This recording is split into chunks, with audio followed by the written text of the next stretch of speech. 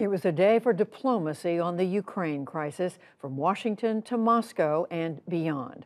All this as more than 100,000 Russian troops mass along the border with Ukraine. Foreign Affairs correspondent Nick Schifrin has followed the events of this busy day. I'm delighted to have the Chancellor here today. Across nearly 5,000 miles from the White House to the Kremlin, a day of diplomacy. French President Emmanuel Macron met with Russian President Vladimir Putin and expressed hope that war could be averted. Putin called the talks useful.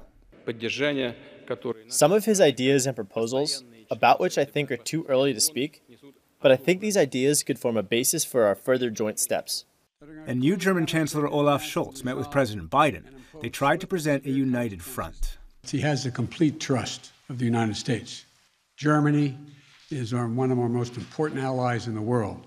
There is no doubt about Germany's partnership with the United States. None.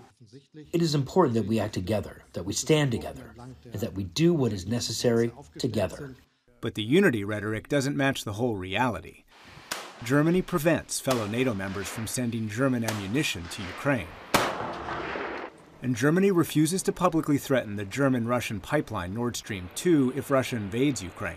Germany has indefinitely paused the certification process. The White House wants to use that pause as leverage over Russia.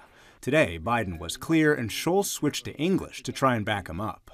The notion that Nord Stream 2 would go, Nord Stream 2 would go forward with an invasion by the Russians is just not going to happen.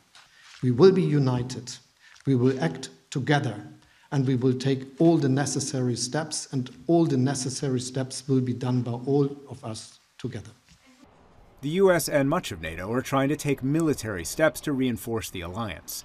Today, American soldiers, usually based in the U.S., landed in Poland to bolster a thousand NATO troops already deployed there.